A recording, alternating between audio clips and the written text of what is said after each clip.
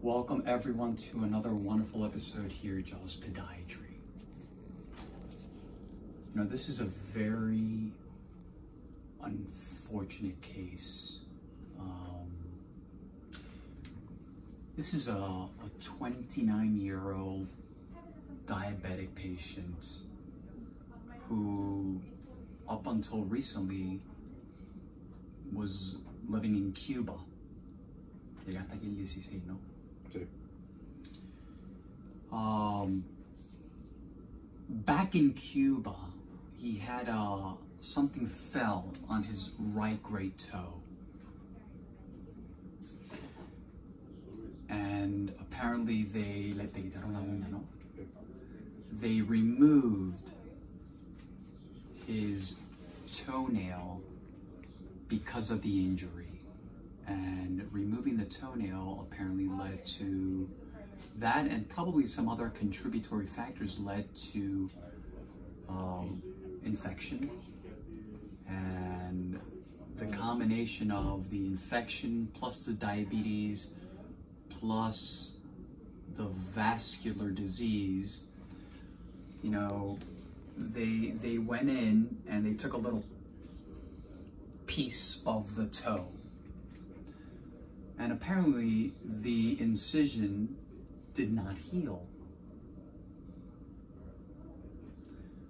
so they went back in to take a little a little bit more and they ended up essentially amputating the toe Lo dejaron abierto. Sí.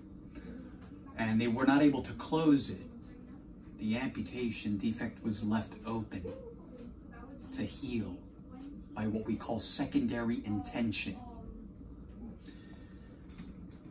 let's take a look at the right first so again, this is a 29 year old diabetic patient who found out that he was diabetic in 2016. Now we have one big problem which we already spoke about. The patient smokes one pack of cigarettes or almost a day for the last 15 years. So he's been smoking since he was 14 or 15 years of age in Cuba. So, you know, let's take a look at the bottom of the foot as well. No, I, so what, what we see here is we, we have a very large callus underneath the first metatarsal head.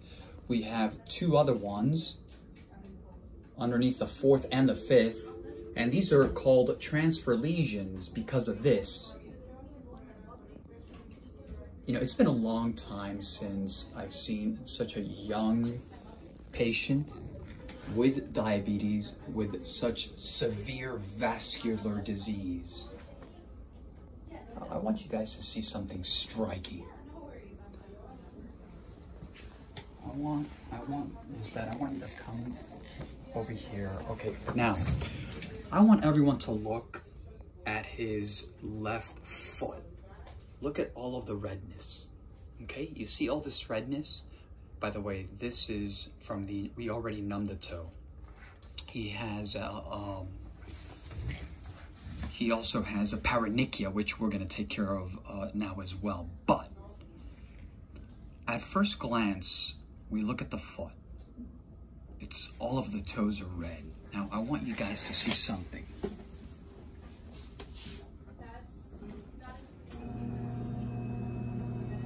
I'm tilting the patient back.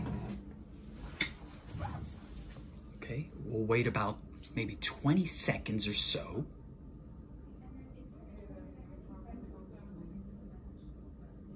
And the redness of the lesser toes is disappearing. A little bit on the great toe as well. Dr. Wagner, what does that mean? You see, all, all of it is gone. A little residual, but I would say 90% of it is, is all gone. If the redness was still there, it would mean that the patient has infection, cellu cellulitis. But what I think is happening here is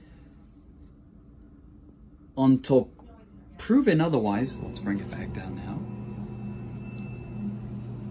This patient at 29 years of age with the robust diabetes and the robust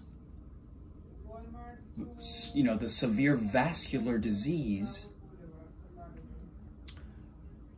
we're setting ourselves up here unfortunately for a complete catastrophe. And i already spoke to the patient about this. Smoking one pack of cigarettes a day the diabetes again he did not know. For all in you know for all we know he may have been diabetic since he was 10 years old and he never knew it.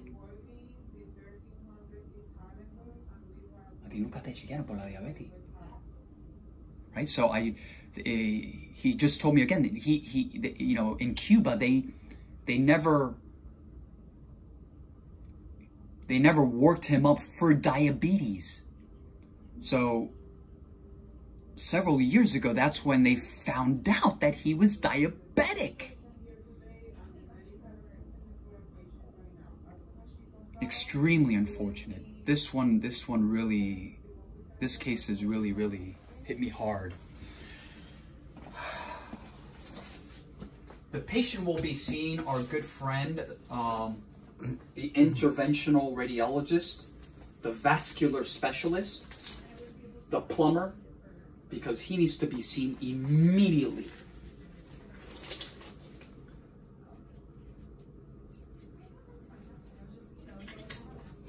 To see exactly what is going on in respect to the vascular supply to the left foot. Now, let's talk about the great toe. Vamos a moverte un poquito. Ah, ok, muchas gracias. Extremely unfortunate a month ago, uh, uh, uh, prior to January 1st, the patient had no insurance. January 1st, patient has insurance.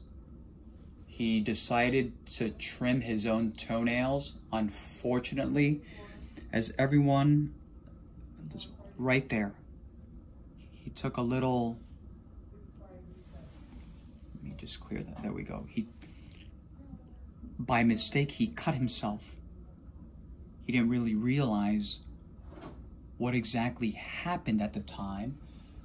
Then realized there was infection couple weeks later. So then he had to go to his primary to get a referral to eventually make it here three weeks later. So the patient is currently on antibiotics but he has, what we're gonna go ahead and do on both sides, we're gonna remove these offending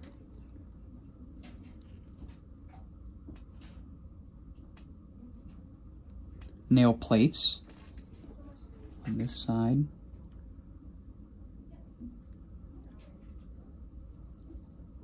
Tabi?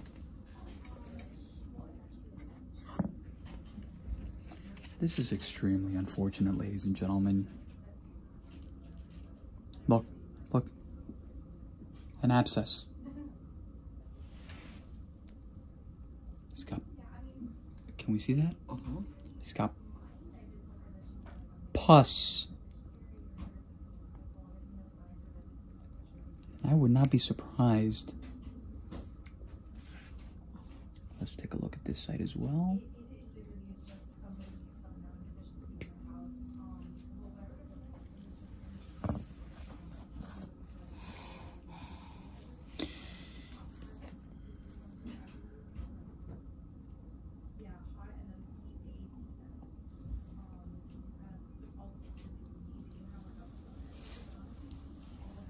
Look at the size of this.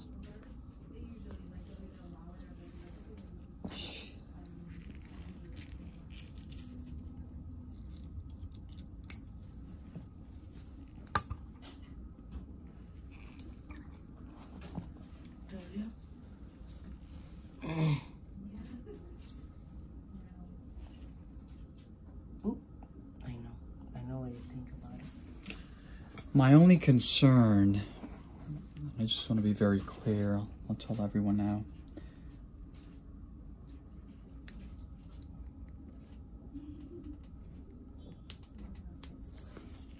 This nail's basically just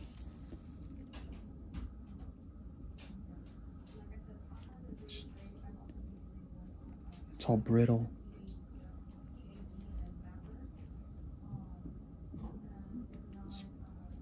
It's just basically melted away completely and totally.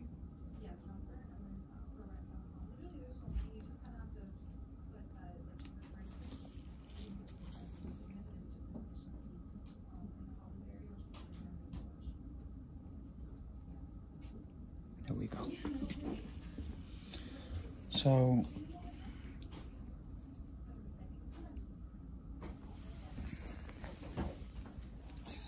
let me cut this a little bit here.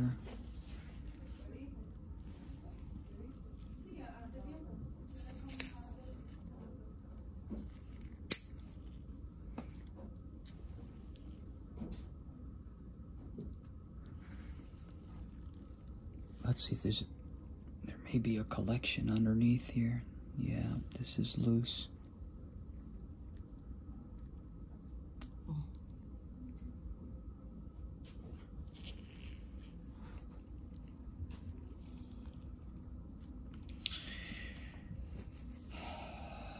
Only concern, you know, just like on the other foot, you know, Dr. Wagner, why not remove the nail? Right? It's it is loose. See?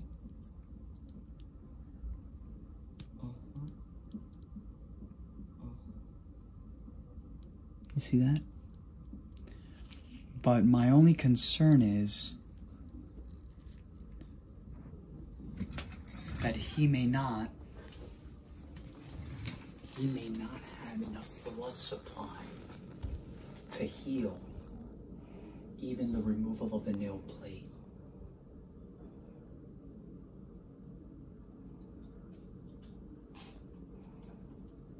Which, let's go back a couple of years, that's exactly what transpired on the right.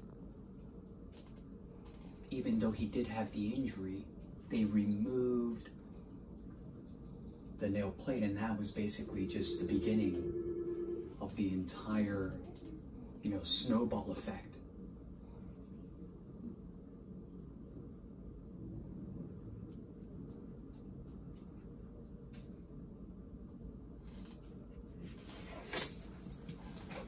The moment of truth, I want to also do something now is he's 29 years old. There's minimal bleeding. Usually we see a lot of blood. Come close. Let's, let's see if we get a, a little trickle here. Estoy buscando a ver si, si baja la sangre.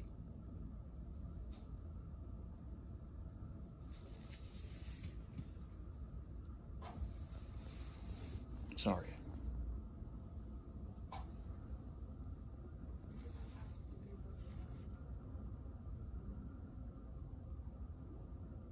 Marginal. Severe,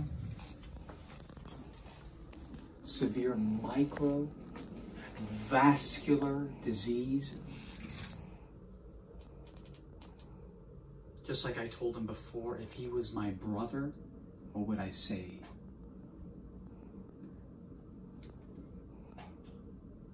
In respect to the diabetes, we have to definitely get that under control, whatever it takes. In respect to the smoking, I already told him if you continue to smoke, you will lose your legs. If you stop now, your life will definitely change for the better.